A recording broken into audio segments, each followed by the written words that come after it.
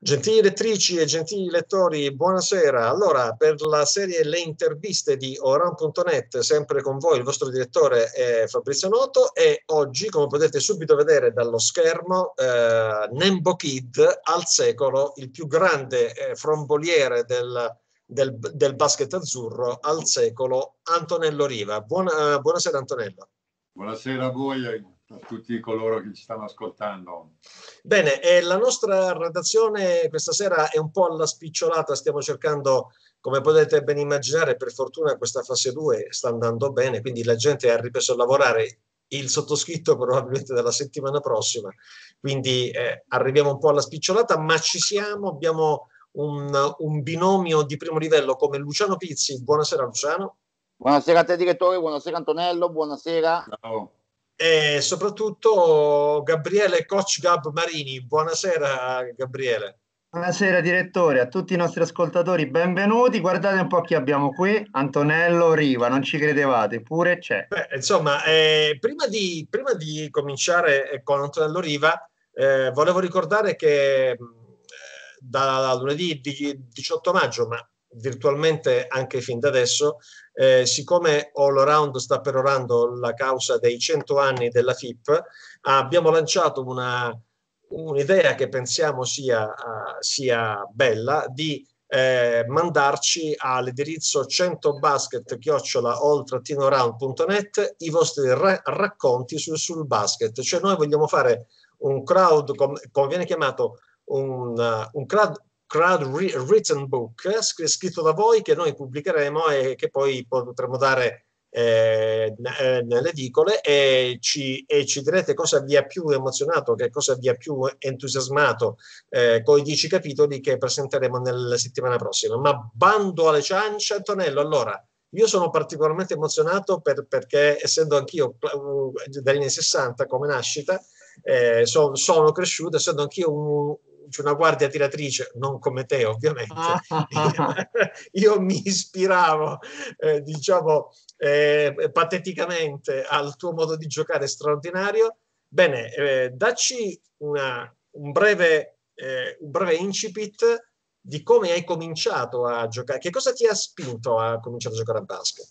Ah, guarda, sembra strano, ma ho iniziato davvero per caso, perché frequentavo la quinta elementare e allora eh, c'erano i giochi, i famosi giochi della gioventù e dovevi eh. fare tre specialità, cose che mi, mi, sembra che adesso non ci siano più, però vabbè, non entriamo in quello. Vabbè, lascio perdere. quindi lascio perdere. Puoi immaginare l'altezza, quindi mi, mi fecero fare salto in alto, vabbè, poi non mi ricordo se corsa campestre o qualcosa del genere, e basket, perché era d'obbligo. E poi da lì, insieme dei miei coetanei, scattò questa scintilla, perché poi fortunatamente eh, nel, nel, paese a Rovagnate c'era un campetto all'oratorio e, e, quindi abbiamo iniziato a passare i pomeriggi assieme a, a tirare a canestro. Quindi è, è, nato proprio così, per caso, in maniera direi spontanea. Bene, passo la palla a questo punto a Luciano Pizzi. Vai Luciano. Eccomi, allora diciamo che Antonello è uno che ci ha fatto prima addolorare a noi tifosi di Milano e poi, e poi in parte anche gioire con, con, il suo passaggio. Volevo parlare appunto di questo suo passaggio, di come è stato vissuto, contando anche le rivalità tra le due città. Ma guarda, eh, sai che eh, a Cantù io avevo sempre avuto come dirigente Lello Morbelli, che mi sembra un paio d'anni, forse erano già tre o quattro anni prima mio, di questo trasferimento e era, aveva fatto il passaggio da, da Cantù a Milano, nella dirigenza di Milano, proprio perché sai Cantù continuava a vincere coppe internazionali e Milano eh, era in difficoltà invece a livello internazionale. E quindi ecco questo perché avevo sempre avuto, era stato il mio secondo padre, io quando andai a Cantù Morbelli fu, fu mio padre fece le parti di mio padre e, e, quindi ero sempre in contatto con lui, cioè voglio dire ci sentivamo spesso e volentieri e devo dire che nell'89 per me fu un anno strepitoso perché eh, avevo fatto 30,5 punti di media partita. Eh beh, sì. E quindi sentendoci durante l'anno, lui ogni tanto mi punzecchiava, mi diceva ma che, diresti, che ne diresti di, una, di venire a Milano? Ho detto, guarda, mh, cioè io sto bene a Cantù, sono nato a Cantù, tutte quelle...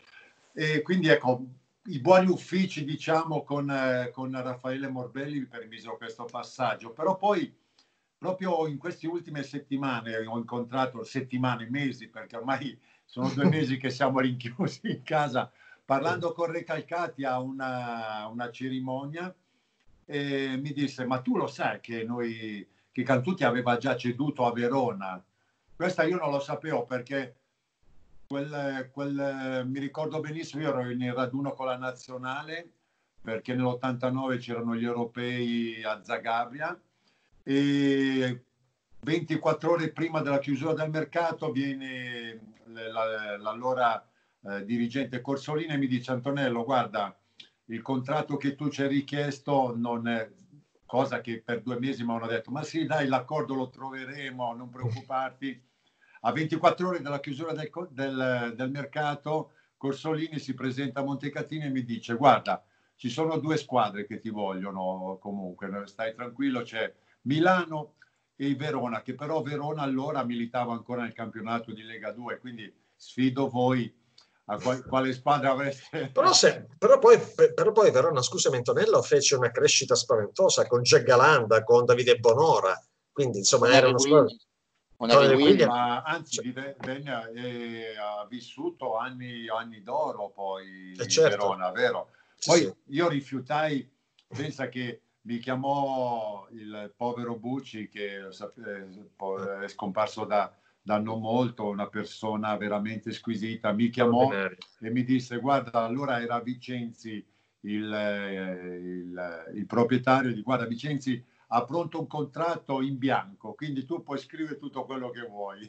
Però Milano veniva da dieci anni di finale scudetto, era qualificata, aveva battuto Livorno, vi ricordate quel, quella famosa, eh, la famosa... Finale, con quel canestro che ancora oggi non si sa e dove aveva la partecipazione quindi alla, alla Coppa dei Campioni, quindi una scelta una scelta non scelta, nel senso chiamato che era, anche, era obbligatorio. Certo. Chiamato, chiamato anche a eh, proseguire un'eredità pesante nell'ambiente milanese ed è quella di Premier soprattutto. Sì, infatti non fu, non fu semplicissimo, devo dire, perché eh, questo passaggio, no?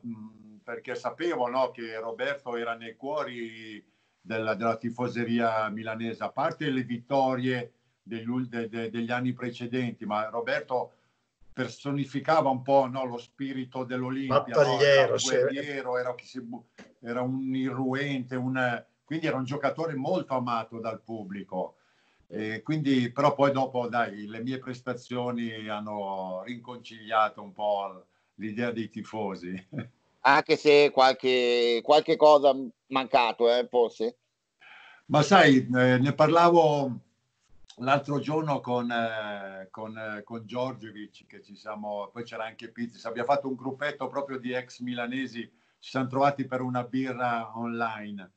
E no, guarda, c'è stato Vabbè, quella finale con Caserta che noi quell'anno avevamo vinto tutte le partite in casa e sì, perdemmo sì. la quinta con Caserta, tanto di cappello a Caserta perché eh, fece una, fecero una partita strepitosa. Eh, scusami Antonello, quell'anno voi avete eliminato in semifinale Roma il Messaggero, eh, se non vado errato, eh, ed era proprio l'alba del, del, forum, se non vado errato. Bravissimo. Esatto, bravissimo. No, ma, no, ma sai perché me lo ricordo? Perché eh, gara 1 di semifinale io venni col pullman del messaggero a Virtus Roma al forum e venni a vedere questa partita dove voi avete massacrato effettivamente il messaggero che era una squadra estremamente forte con Premier che era, che, che era venuto a Roma e gara 2 voi l'avete vinta qui al palo automatico al palo automatica denso proprio c'era tantissima gente con il cubo se ti ricordi che va che va, che va, che va in tilt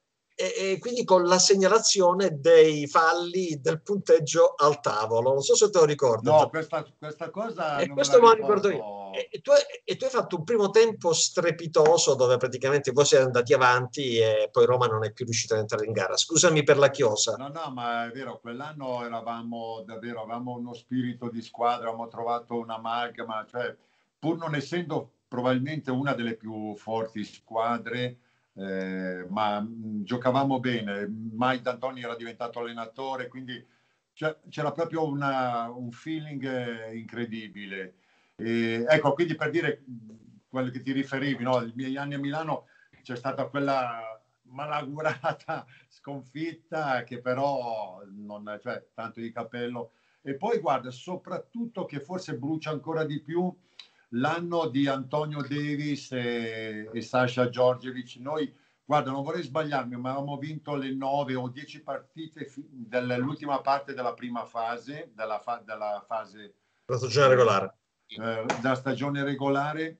L'ultimo minuto a metà campo Antonio Davis, eravamo avanti a Bologna, va per eh, rubare un pallone e si rompe un dito. E allora non è come adesso non si poteva, non si poteva modificare l'organico, non, eh, e quindi quel, poi dopo ven, mm, venimmo eliminati da Pesaro la terza partita di un punto.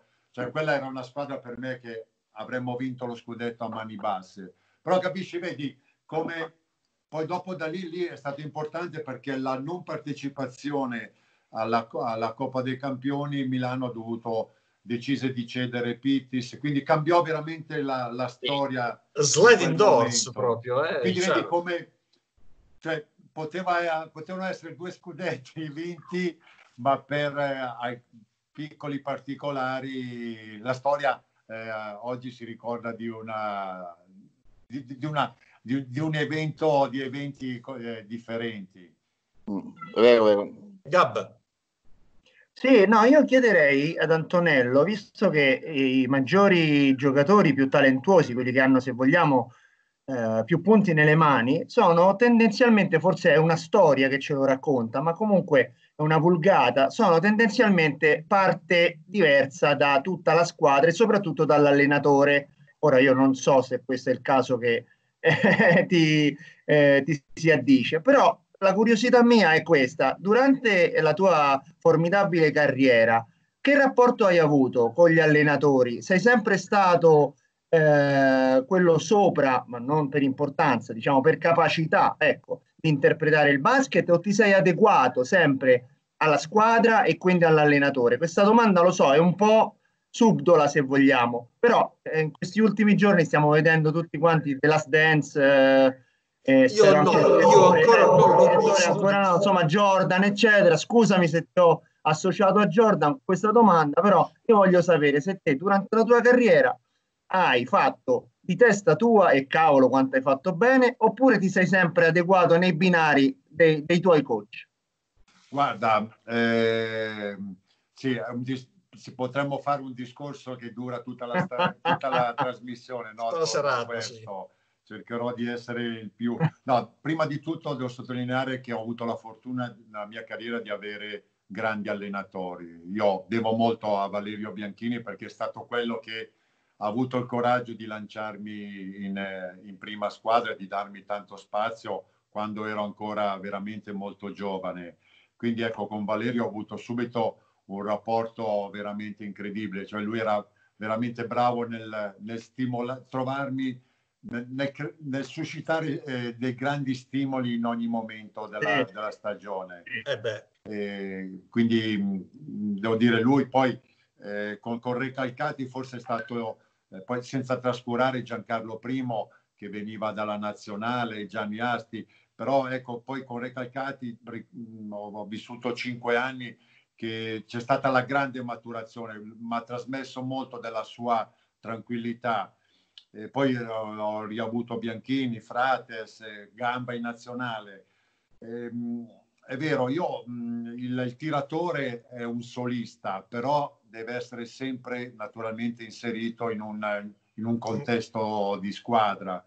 Eh, quindi devo dire che la mia, parte, la mia prima parte di, di carriera a Cantù la squadra era sempre costruita un po' attorno alle mie caratteristiche, perché eh, non so, mi vengono in mente Bosa, Bariviera, per dire due nomi, anche lo stesso Dangay, non erano poi quando ci, gli anni di Jim Brewer, non, cioè venivo attorniato da giocatori che non erano dei grandi eh, realizzatori, che non avevano grande c'era, attitudine. Beh, c'era CJ Kupek con le sue bombe che, dagli angoli.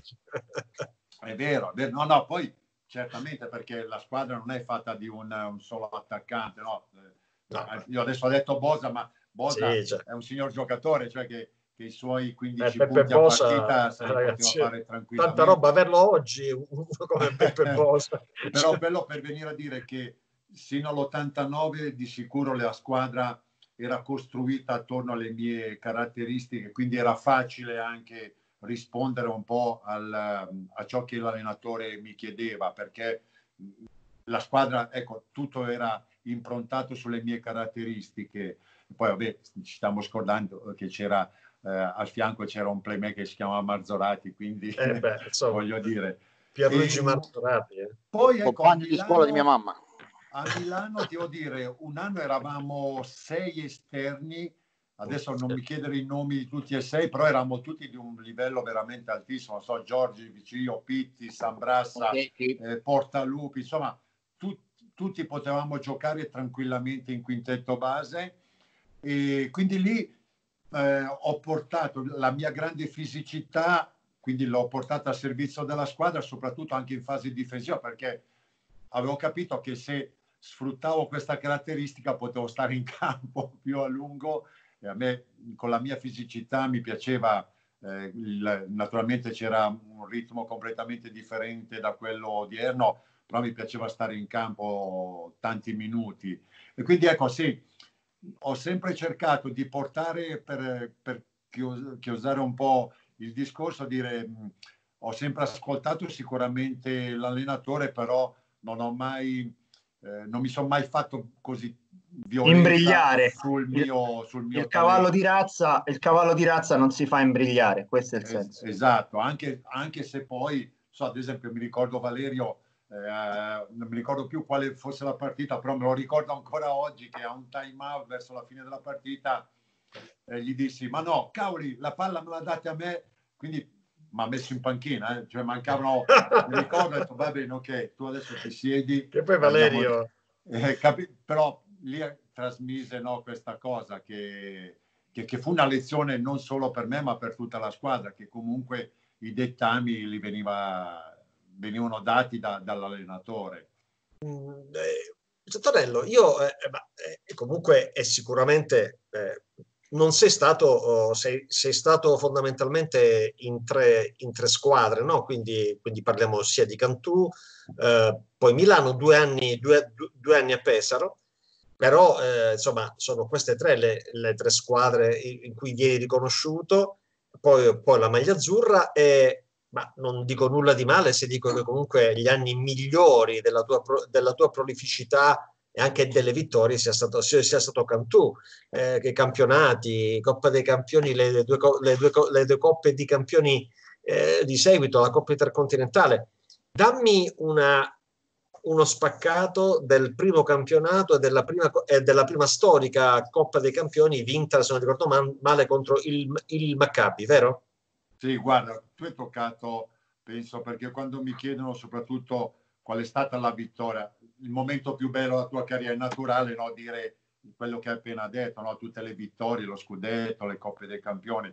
Però devo dire che Cantù, come avevo detto prima, veniva da ogni anno a una partecipazione, anzi quasi sempre a una vittoria nelle manifestazioni eh sì. europee. Aveva vinto tutto, tutte le coppe la Corac, la Saporta, coppe, sì. coppe intercontinentale, insomma, gli come la Roma, insomma, via.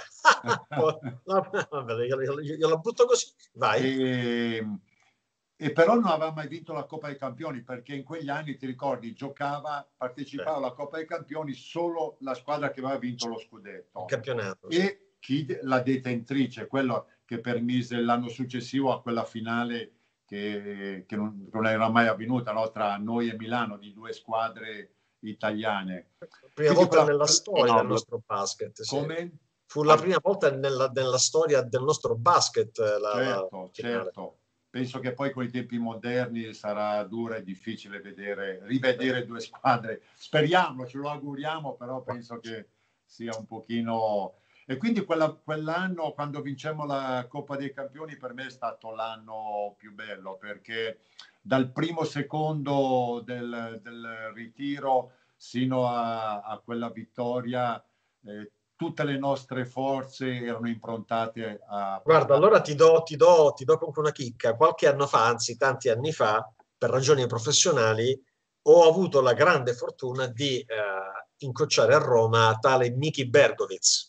Ah, allora io, allora io cioè, mi sono avvicinato, eh, great player, lui cioè, contentissimo, molto, ma molto, ma molto civile, educato, cioè una persona squisita. E io gli feci la domanda, ma toglimi una curiosità, quella finale contro Cantù, ma che cosa avete sbagliato? Perché effettivamente Cantù era un po' eh, la, era l'underdog, no? era quello uh, svantaggiato. Il Maccabi col popolo dietro, con questa marea gialla, uh, Ciaro Esti, il primo che mi viene in mente, poi c'era pure eh, Bergovic. E lui disse: Non siamo riusciti a contenere Antonello Riva. Lui lo, lo ha detto spassionatamente, era un gran, una grande prestazione, un grande giocatore. Guarda, io iniziai abbastanza male quella, sì. quella partita perché il primo tempo proprio perché Berkovic eh, nell'europeo precedente era stato votato miglior, allen- miglior giocatore, giocatore, dell'europeo, quindi esatto. era veramente la guardia europea insieme cioè, a... Cioè non era di Dio in quel periodo Berkovic. Esatto. E quindi quella partita poi mi ricordo quando entrammo in campo ci attendavamo questa marea gialla, ma non così, perché veramente c'erano, non so, penso 200 canturini e poi 4.008, 5.000 israeliani. Sì, era giallo, il palazzo era giallo. Quindi mh, lo subì un po', vabbè, l'importanza, ero giovanissimo, avevo 20 anni, eh sì. l'importanza della partita, il giocare contro un avversario così importante, insomma, e vedere sta Maria, eh, feci fatica a metabolizzare un po' tutte le cose. E, però ecco lì fu, fu, grande Valerio perché mi permise innanzitutto di stare tanto in campo, di rompere il ghiaccio e poi nel secondo tempo veramente ho fatto un secondo tempo incredibile. Straordinario, sì, sì, sì, proprio probabilmente per, dopo aver rotto il ghiaccio sono riuscito a giocare tranquillamente senza pensare a tutto, a tutto questo. Però quella... non, è, non, è, facile perché tra l'altro poi... Insomma... No, no, assolutamente. Quindi quella fu veramente la, la, la partita più bella, più, più grande perché ecco, portare, a, portare in Italia, portare a Cantù un alloro che non aveva mai, mai riuscito a raggiungere è stata veramente una grande sì, se non, se non, ricordo male con l'ultima bomba di Kupek proprio dall'angolo che, che, che, che ha suggellato no? perché io eh, sono di Catanzaro però vivo a Roma ormai da anni e seguivo con simpatia le gesta delle, eh, eh, di Cantù Luciano vai. Eh, t- tornavamo invece appunto sempre in Coppa Campioni a un altro sliding door appunto come, come mi piace sempre dire che è quello della finale dell'anno dopo. Eh quando la finale dell'anno dopo che ha fatto tanto male forse anche quello eh, ha inciso molto sul, sul, sul, fatto del suo passaggio a Milano che appunto tanti milanesi vogliono cancellare quella, quella data la riconferma però si sa è sempre più difficile della vittoria effettiva Cosa ne pensi di tutto questo aspetto, Antonello? No, no, hai detto una cosa vera, reale. Eh, non, era, non, era, facile riconfermarsi. Eh, cambiando fu... poi tutti gli americani, cambiando Bruce Flowers che aveva fatto una nata Madonna, CJ Cooper che anche lui in altro passato dalle, dalle, inserendo Brewer e l'altro che non mi ricordo chi era. Era, Joe, eh, era Bryant. Ah, Wally Bryant. Wally Bryant. Bryant. Sì, sì, che, aveva, che, era un braccio che era praticamente se prendi me, prenderci un braccio suo, è praticamente spaventosa. Scusa, vai, vai Antonello. Però lì, sì, lì trovammo, ormai la, la, squadra aveva raggiunto una maturità elevata, davvero, avevamo un organico eh, veramente affiatato. Eh, Jim Brewer sembrava un campione che aveva, aveva, già terminato la sua carriera da anni, invece si dimostrò veramente quel collante eh, incredibile. Ad esempio, ecco, quella partita, anche lì partì con uno 0 su 7. Fine. Le finali non è che erano le... sì, sì. uno 0 su 7, eh, però lì fu bravo ancora primo perché mi lasciò in campo 0 su 7, ma a parte che tutte e due le squadre avevamo, sentivamo molto questa sfida fu, perché... Fu fu un combattimento. Fu, esatto, fu era, non, non Grenoble, stato... Grenoble era, legge, era ambasciata italiana, era legione italiana quella serata lì. Eh sì. Quindi la tensione la, la, la, tagliavi a fette davvero e pensa che Jim Brewer era, come dicevo prima, un americano che il canestro potevi anche toglierlo, che non lo guardava, era un grandissimo difensore, un grandissimo rimbalzista, riempiva l'aria, quindi era un giocatore proprio che ti... grandi, grandi giocatori di squadra. Quella partita mi ricordo che nei primi minuti lui ci prese per mano, fece due canestri dalla lunetta, lui che non era tiratore, sì, che non tirava sì, mai, ma, mise, ma proprio trasmise a tutti noi quella sicurezza, quella fiducia, quella tranquillità che senza di lui invece avre, avremmo veramente eh, eh, un, come dire, sbandato in maniera paurosa, cosa che Milano non riuscì a fare perché per tutta la partita, poi noi poi perdemmo assolutamente la concentrazione quando Dino Meneghin commise il quinto fallo, noi eravamo avanti di 14-15 punti e quindi tutti noi avevamo pensato ok la partita è finita, cominciamo a festeggiare eh. e ahimè se dovessimo prendere Franco Boselli che se vi ricordate a sì, tre sì. secondi dalla fine ha sbagliato quel tiro da 3-4 metri io penso che se prendiamo Franco oggi, che forse sono vent'anni che non tocca un pallone, gli facciamo fare 10 tiri, se non 10 ma 8 9 li realizza. Quindi è stata lì è stato grandissima. Vi ricordate la famosa 1-3-1 sì, sì, sì. che eh, sì, paralizzò? paralizzò eh, Dampi, eh, se, beh, fu, fu, fu, fu, una mossa straordinaria. Lucio, scusami, dimmi, dimmi. No, integravo la domanda perché poi a, a memoria vado a ricordare che normalmente, visto i due, solo i due stranieri, cercavi di comporre l'asse straniera nelle squadre italiane, almeno nel generale, nella norma, si cercava di comporre. La vostra forza forse era proprio anche quella che avevate gli esterni tutti italiani, amalgamati, penso appunto a te, eh, a Pigi e a, e a Bariviera o Bosa. Beh, e c'era quindi, anche il... Quindi dedicarsi il alle planche con bestioni americani belli atletici? Guarda, sì, avevamo un equilibrio. Noi avevamo modificato anche molto il nostro modo di giocare quando arrivarono Jim Brewer e Wally O'Brien e anche con la, col cambio di allenatore con, con Giancarlo I. Quell'anno, eh, pur avendo giustamente, come detto, una buona batteria di esterni, c'era un giocatore chiave noi avevamo, Giorgio Cattini, perché Giorgio Cattini. permetteva di giocare con tre piccoli Cattini poteva giocare con me, poteva giocare con Marzorati, quindi era un jolly incredibile a seconda di come si metteva la partita. E tra l'altro, Però... scusami Antonello, c'era anche il, il povero lupo eh, Denis Innocentin, se non vado errato. Assolutamente, era anzi quell'anno, non vorrei sbagliarmi, sì, era quell'anno eh, Lupo Innocentin, perché Bariviera ebbe un infortunio importante sì. al ginocchio. Sì. Innocentin giocò tutto l'anno come titolare da, da tre. Grande crescita. Grande disputò un'annata incredibile, disputò, però ecco, quando noi dovevamo giocare con un quintetto alto, eh, Innocentin era il nostro numero tre, eh, oppure se dovevamo essere più veloci abbassava il quintetto e Cattini entrava e giocavamo io, Marzorati e Cattini, quindi eravamo anche più veloci.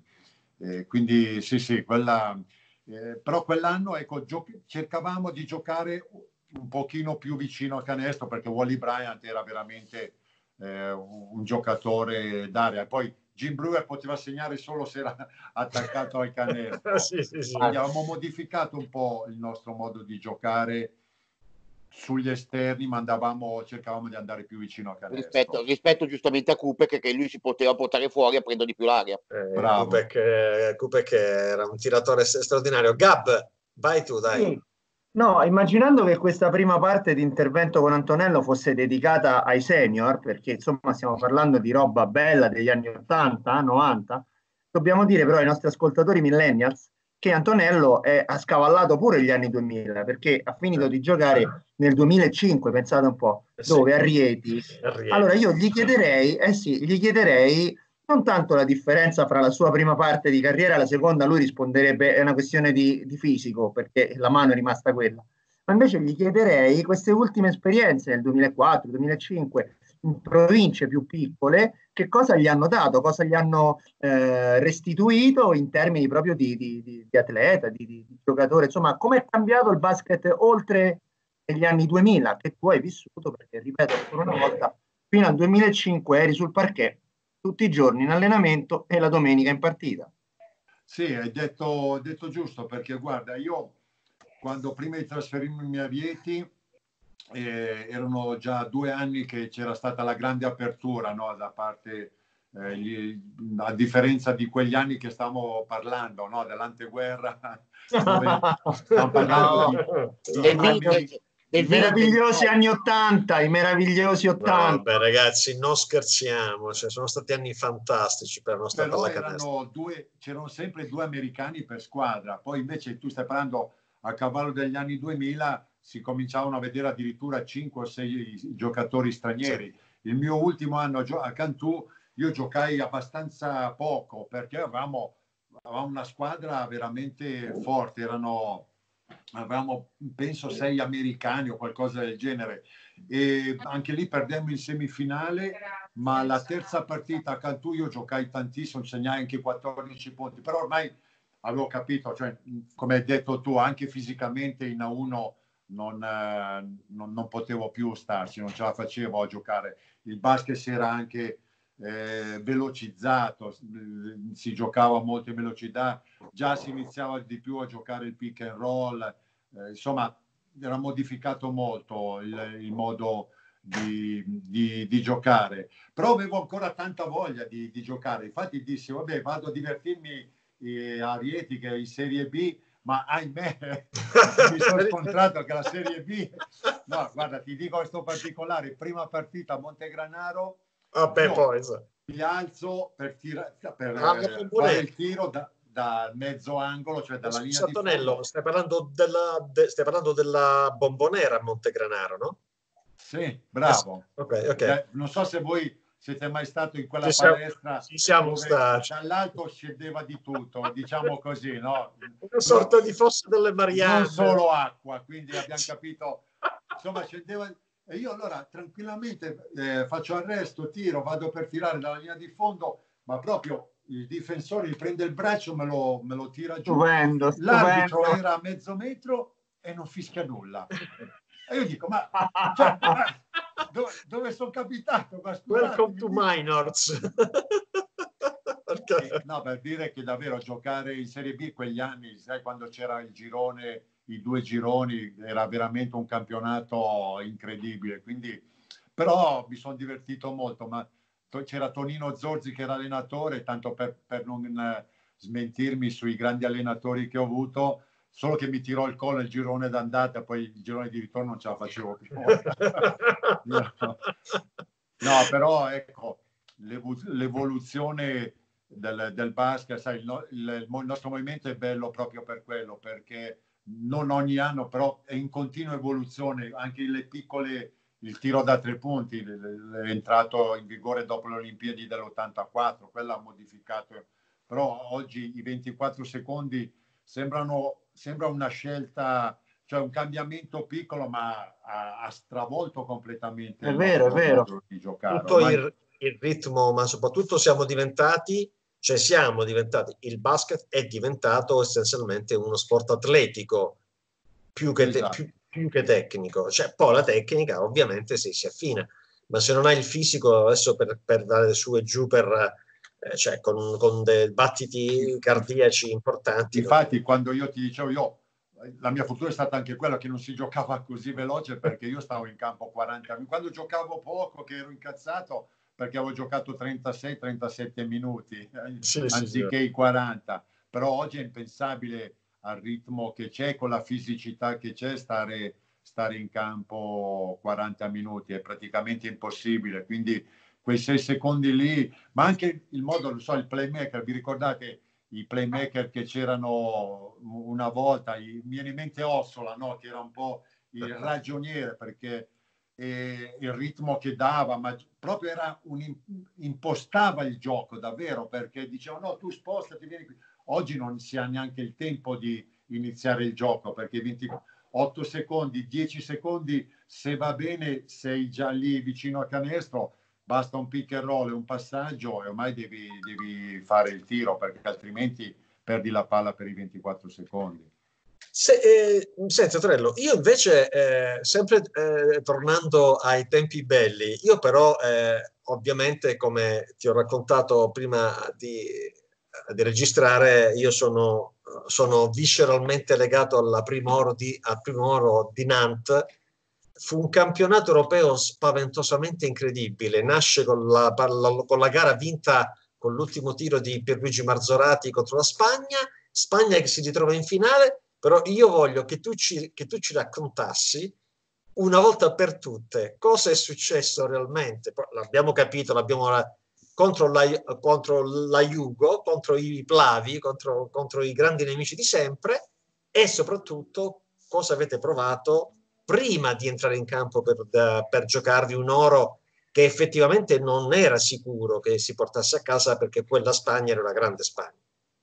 Sì, eh, fu per me, com, eh, prima della trasmissione eh, ne parlavamo, per me na, la squadra di Nantes è la squadra perché c'era un'unione proprio, si sono trovati, passami il termine, i vecchietti che erano i Marzorati, i Meneghini, Vecchiato, Villalta era già anche a esatto. metà, con Gilardi. una generazione a metà che erano i Gilardi, Bonamico, eh, insieme poi a, a, una, a, alcuni che erano i giovanissimi, io mi viene in mente io, Ario Costa, ma lo stesso Magnifico che però non venne... Se dopo vado Antonello, scusami, prima palla, palla a te, tu vai, vai e schiacci subito se non vado errato, prima palla, giusto? È la miseria, ma come... eh, eh, beh, sono... io, io ero, perché nell'82 la federazione scelse di non partecipare ai mondiali proprio perché Gamba aveva deciso, aveva organizzato quattro tornei in Italia con una sperimentale che era a metà strada tra la prima squadra e una squadra sperimentale, perché mi ricordo vennero Bruna Monti, c'era Villalta, c'era lo stesso Vecchiato, insomma voleva eh, lungimirante Gamba, ha, ha, ha perso, perso, ha consumato un'estate per costruire quella squadra che poi avrebbe giocato tutte le buon carte. Amico, buon amico. Era il quintetto base, aveva dietro altri cinque giocatori che potevano tranquillamente perché eh, Marzorati addirittura ce n'erano due perché c'erano Caglieri e Brunamonti. Esatto. Io e Gilardi, ci, Gamba poi faceva sempre partire me, ma eh, Enrico poteva tranquillamente giocare eh, in quintetto ali piccole partivano Bonamico, Massacchetti, ci Chiamiamole piccole, piccole per modo di dire. Esatto. e Villalta era, cioè, era intoccabile nel, nel, nella posizione di 4, che poi lì c'era Vecchiato che si alternava anche, giocava alcuni minuti anche con Ranzo Vecchiato, ma oh. forse eh, se non vado errato, era, lui, se la, lui se la giocava con Toio Ferracini, se non vado errato. Eh? Sì, sì, sì, però quell'anno poi Toio non, non, c'era perché c'era Ario Costa, esatto. era, era, aveva avuto una grande esplosione. Quindi è, per me quella è la squadra, senza nulla togliere a tutte le altre, però quella che ho vissuto. E lì gli slavi quando avevano capito che quel giorno con noi la dovevano mettere sulla bagarre, eh, perché avevano visto che eh, tecnicamente eravamo veramente forti, gio- stavamo giocando anche bene, avevamo vinto le, le, le prime quattro partite, eh, quindi, mh, però lì ci fu una cosa che buon amico nel primo tempo diede una, una badilata. Alcuni dicono che lui dice che gli aveva dato, aveva, eh, Kicanovic aveva sbattuto contro la sua spalla, ma effettivamente anche un pugno era partito. Quindi... Scusami Antonello, ce, ce, ce, la ricordiamo quella jugoslava? Cioè, cioè, che squadra che era con Deli Pasic, con Kicanovic, con Dalipagic, Ciosic, cioè ragazzi, una partita, una squadra stellare pure quella. Sì, sì, era, però la, probabilmente era anche come aveva, non aveva più quella, non aveva quella forte motivazione che avevamo noi. Noi sentivamo proprio che quello poteva essere il nostro campionato, poteva essere quella manifestazione. Quindi eh, passammo però da quella battaglia, di quella, di quella lotta lì veramente impari. Oh, signore e signori, siamo connessi con Cristiano Garbin. Buonasera Cristiano. Però vedo che non è molto connesso, vedo che ancora sta, sta assestando. Eh, scusa Antonello, quindi voi entrate in campo, ma cioè, quindi eh, la consapevolezza di farcela o più la voglia di farcela?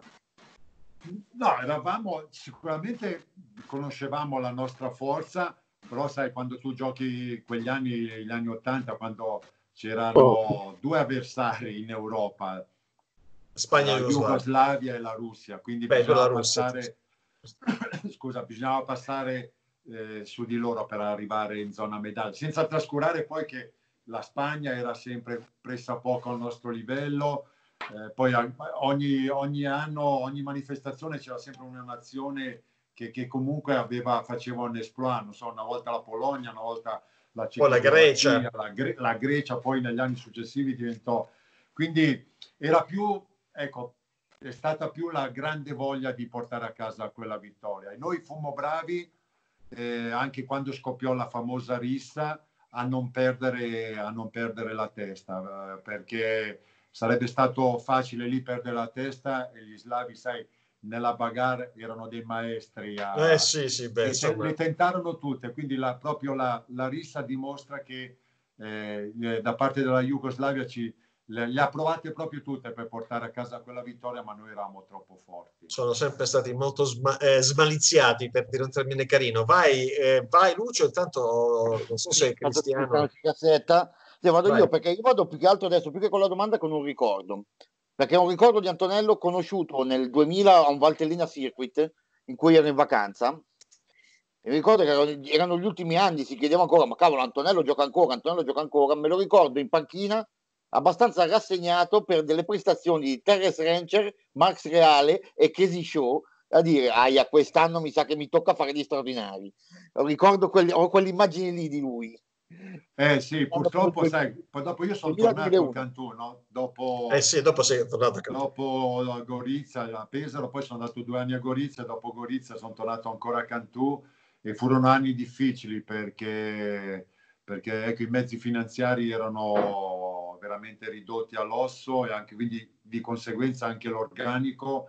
E io non avevo mai giocato per la salvezza, eh, quindi è stato un, penso sia proprio quell'anno lì che, a cui tu ti riferisci, che siamo arrivati proprio a, all'ultima, all'ultima, penultima giornata a raggiungere la salvezza. Sono stati anni, poi io ero capitano, quindi sono stati anni veramente molto duri e molto difficili. Per fortuna non ho sporcato la mia carriera con quell'onta della retrocessione. Vero, vero, vero. Gab, Sì, no, io vorrei proseguire invece con questo sali, scendi, sali, scendi, quindi io continuo per i millennials nel, negli anni 2000. Dunque, eh, lui finisce di giocare, Antonello finisce di giocare nel 2005 a Rieti, l'abbiamo detto, le esperienze della Serie B, va bene, poi eh, capisce che ci può stare ancora in questo mondo, eh, che sta diventando sempre più, purtroppo, lui lo ha detto in tante interviste, un mondo di pochi italiani in campo, sottolineo, però lui vuole essere un DG e lo fa egregiamente con le sue prime esperienze a Veroli e poi a Roma. Lì voglio arrivare. Nel 2011 Antonello Riva è il DG della Virtus Roma. Direbbero delle note sotto traccia, ma chi gliel'ha fatto fare? Ma noi non lo diciamo, noi non lo diciamo.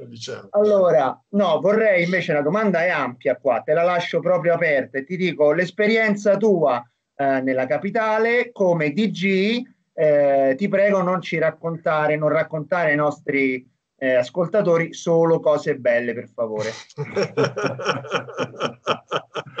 siamo in fascia protetta siamo in fascia protetta. Siamo Passiamo un'oretta, dai, tra amici che ci divertiamo, mi vai, mi vai, a tirare fuori queste chicche qua che diciamo che è stato un anno difficile. no, voglio dire... Qualcosa dicela, dai, qualcosa dicela. No, voglio dire che prima di tutto arrivai a Roma e c'era già, c'era già un sacco, quasi tutta la squadra sotto contratto eh, volevamo fare un po' di pulizia prima di, di iniziare, ma avevano dei contratti talmente onerosi che eh, tutti volevano restare. Non ricordiamoci chi c'era prima di te, ma ce lo ricordiamo, ma non lo diciamo. Prego, vai. No, ma questo non, eh, però ecco, eh, ci, mi ricordo che con Lardo nel, nel, creare la squadra abbiamo trovato grosse difficoltà eh, proprio per, ehm, perché avevamo visto che non era poi così equilibrata. Però guarda, anche quell'anno io, t- io vedo sempre con ottimismo no? ogni, ogni, esperienza. Certo. Quell'anno, se tu non ti ricordi male, noi purtroppo stavamo, eh, perdemmo eh, Gigi Datome per infortunio sì. e restò fuori, non so sbaglio, sei o sette partite, perché poi quando lui tornò abbiamo avuto una parentesi in cui siamo andati anche bene. Poi prima che lui avesse poi una, un'influenza, una cosa, per dire no, che tante volte no, tu giudichi una, un'annata dal risultato finale, però non vai eh, ti, ti, ricordi sempre solo del risultato finale, ma non vai a analizzare poi mese dopo mese quello che è avvenuto. Sicuramente non c'era una situazione idilliaca per, per poter fare una buona stagione, anche se poi con i piccoli particolari forse poteva avere un indirizzo differente. Ok. Bene, io quindi vado adesso su un discorso un pochettino più, dopo che abbiamo sviscerato i grandi successi in maglia cantorina, qualcosa con Milano e, e, e la maglia azzurra. Eh, il basket di oggi, Antonello, allora, eh, dacci una tua visione su eh, come si potrebbe pensare di eh, ricondurre il nostro basket su, su, su, su, una, su una dimensione non più italiana, per, perché sembra un po' anche un po', eh, un po' inflazionata questa frase, però forse è giunto il momento di dare un po' più importanza ai nostri vivai. Eh, come prima, no? che voi fate, mi fate delle domande che, dovremmo, che sono basi di, di argomenti per, da discutere per giornate intere. Qui il discorso sarebbe veramente lungo, però effettivamente eh, passi da, da, da, da, un punto importantissimo, quello dei, dei nostri vivai. Eh, si, io, mh, sai, sempre facile, è sempre più facile criticare che invece essere propositivo, eh, però bisogna trovare qualcosa per premiare ancora di più chi lavora sul vivaio, perché oggi effettivamente abbiamo pochi italiani, li vediamo, ma anche perché le società non hanno più interesse eh, a investire e a mh, mm, così tanti soldi sui giovani italiani quando tu puoi andarti a prenderti qualsiasi, da qualsiasi parte europea un giocatore, pagarlo anche relativamente poco e metterlo subito in squadra. Quindi non, bisognerebbe trovare, ecco, so che sapete, no, ci sono questi premi che oggi è discretamente anche vantaggioso investire sui giovani, ma non ma è un discorso che poi devi portare avanti per anni per avere poi un ritorno importante.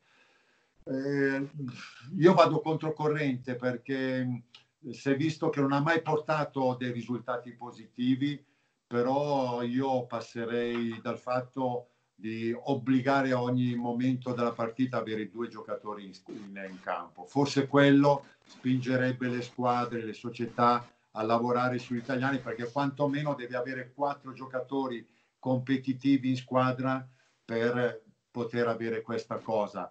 Lo so che è molto... È una, non è facile, non, non, non è, è, facile, facile perché molto... comunque... Esatto, però oggi dobbiamo, dobbiamo passare da, da, da, un qualcosa di molto difficile da attuare per poter ricreare una certa atmosfera attorno al nostro movimento. Io avevo intenzione di dare spazio a Cristiano Garbin, che però è, evidentemente sta avendo dei problemi di connessione, entra e esce, entra e esce, quindi eh, diciamo aspettiamo e quindi ridò la parola a Luciano Pizzi. Sì, eh, guardi, direttore, non saprei neanche cosa, cosa ricordare perché è talmente ampia la carriera di, di Antonello, nonostante fatta principalmente di due squadre e di tante vittorie, che comunque ricordarsi le cose è sempre un po' dura. No, voglio dare un pensiero più che altro al, um, al suo compagno di squadra, a quello che l'ha portato anche lì, eh, anche visto che è anche abbastanza più vecchio, forse nove anni di differenza circa dovrebbero essere con PG Maggiorato. Dieci anni esatti. Dieci anni esatti. Dieci anni esatti. Dieci anni esatti. È possibile, è forse un po' stata la tua chioccia cestistica? No, assolutamente sì. Questa è stata una delle mie più grandi fortune perché io entrai in squadra a Cantù, cominciai a respirare la prima squadra quando a Cantù c'erano giocatori come vabbè, Marzorati, che sappiamo ha giocato sempre a Marzorati, Recalcati, Della Fiori, Meneghel, cioè era una squadra eh, con l'allenatore Taurisano che mh, credeva molto e eh, basava molto la, la, la, costruzione della squadra proprio sul lavoro. Quindi io vengo poi da una terra, dalla Brianza, dove il lavoro è proprio dentro eh ogni, ognuno di noi, no? Perché, eh, bisogna lavorare, bisogna lavorare. Però loro mi indirizzarono sulla, sulla giusta strada, sulla strada per, essere un, per arrivare a essere campioni. Mazzorati poi è stato con me sempre e quindi quei primi anni, quei dieci, quella prima fase della mia carriera è stato fondamentale nel prepararmi a ogni cosa che avrei trovato, che, che avrei trovato davanti a me, qualsiasi ostacolo, qualsiasi situazione mi, me l'anticipava in modo che io la potessi vivere già preparato. Diamo spazio a Cristiano, se riesci a dare un cenno, eh, forse la tua connessione oggi non è straordinaria, temo. Mm, temo che eh, Cristiano con, con, questa faccia un po' inquietante, tra l'altro con questa faccia qua. Eh, Gab, vai, vai, vai, vai tu. Sì, allora proseguendo sempre sulla falsariga degli anni 2000, dove abbiamo conosciuto Antonello, valido anche come manager e come DG, succede che a un certo punto anche lui diventa un senior, che vuol dire che siccome non aveva vinto abbastanza da junior, lui nel 2008 va a vincersi il campionato europeo over 45. Allora qui noi ad Antonello vogliamo, vogliamo sapere che diavolo è successo, non ti eri stancato di vincere e quindi dici tu. No, guarda, lì ci sono state due componenti. Una il fatto di tornare a Pesaro perché avevo mantenuto un ricordo bellissimo di due anni giocati lì, quindi sai, quest, questo campionato si giocava a Pesaro, eh, io ero ancora in forma. E, e poi perché appunto Bucci eh, un giorno mi chiamò e mi disse guarda non sei venuto a giocare con me a, nella tua carriera certo, a Verona sei obbligato a venire a giocare. Gli ho detto no, ma guarda che io non ce la faccio alle mie ginocchia. Gli, dissi mille scuse per cercare di eh, evitare questa cosa. Allora lui alla fine mi disse Antonello, vieni e ti faccio giocare solo la semifinale e la finale. Quindi non avrai... Allora, no, fu, fu, una bella esperienza perché conobbi proprio da vicino eh, Bucci, Alberto Bucci e fu per me veramente una cosa che servo ancora dentro il mio cuore. Eh, però ecco, pensavo di andare, di, di fare il solito, sai, la, la, partitella così. A parte Bucci che era una cosa, cioè allenava ancora con maggiore intensità rispetto... E poi anche le, le, le due partite non furono due partite così eh, semplici, anzi botte dalla miseria, eh, il ritmo alto, quindi Niente eh, male, insomma. Fu divertente, cioè, fu, è un'esperienza che naturalmente ricordo con grande piacere. Eh, io, io, proverei a, a, dare parola a Cristiano, che adesso non si vede più, si vede solo il soffitto. Adesso ecco. si vede, oh, oh, da, oh, finalmente Cristiano, non ti sentiamo però, non si sente. Accendi il microfono. Accendi il microfono, non si sente, come dicono a Roma. C'è il microfono spento per quello. Eh, però microfono. Accendi, accendi il, il microfono. Accendi il microfono, Cristiano. Eh, vabbè, eh, come si suol dire, noi volevamo sapere l'indirizzo. Eh, vabbè. Eh, vabbè, eh, se no. non si... Ecco. Sì. Ok. Non si sente niente. Non si sente niente. E siamo un pochettino sfortunati oggi con questa connessione. Cristiano, parla un po', Cristiano. Attacca bene Jack. Non si sente? No, no, no, non va bene. Eh, dai, eh, purtroppo vorrà dire che riconvocheremo Antonello Riva fra qualche mese. Ah, gli, mandiamo le sue, gli, mandiamo le sue, domande via mail. Va bene, va bene, a vostra disposizione. Senti Antonello, a questo punto siamo stati anche direi sufficientemente eh, a lungo. Io ti ringrazio. Eh, prima di tutto, prima di salutare, eh, Cristiano, se ci sei, batti un colpo. No. Eh, ma non sentiamo, eh, ma non sentiamo. Direttore, direttore. Vai, Gab. No, volevo chiedere una cosa, ma una, una curiosità mia personale ad Antonello. Eh, molti sanno adesso che Antonello performa anche fuori dal basket perché? Perché lui si è improvvisato e molto bene, devo dire, visti i numeri del primo anno, del secondo anno, si è improvvisato imprenditore. Adesso cosa voglio dire?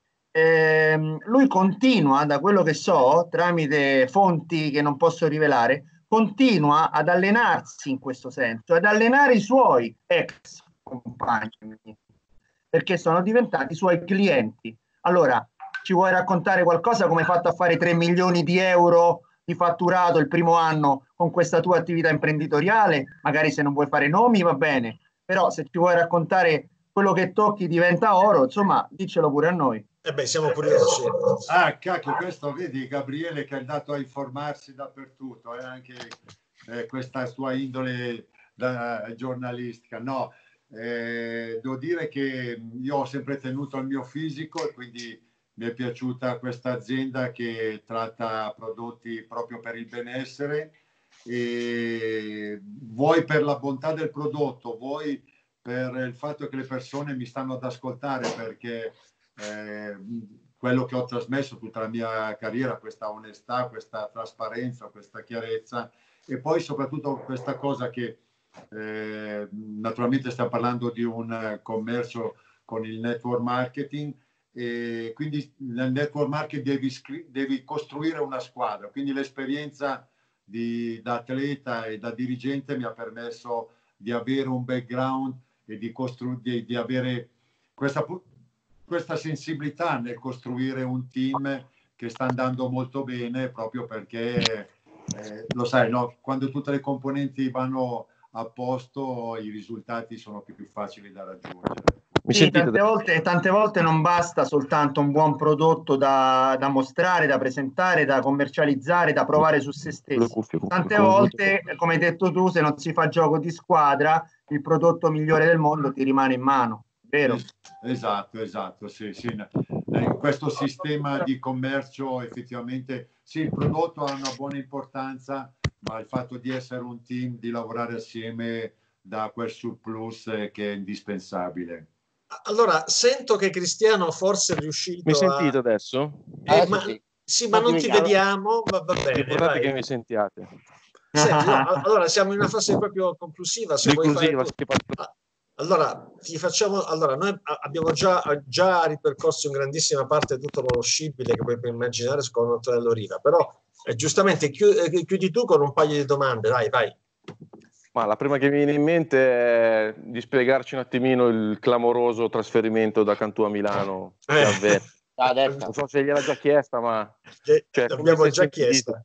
Eh, eh, vabbè, eh, era scontata no. che lui se gliela chiedesse. Dai, dai, poi dopo che cosa gli volevi eh, chiedere? dai. Niente, l'esperienza milanese, un, un bilancio.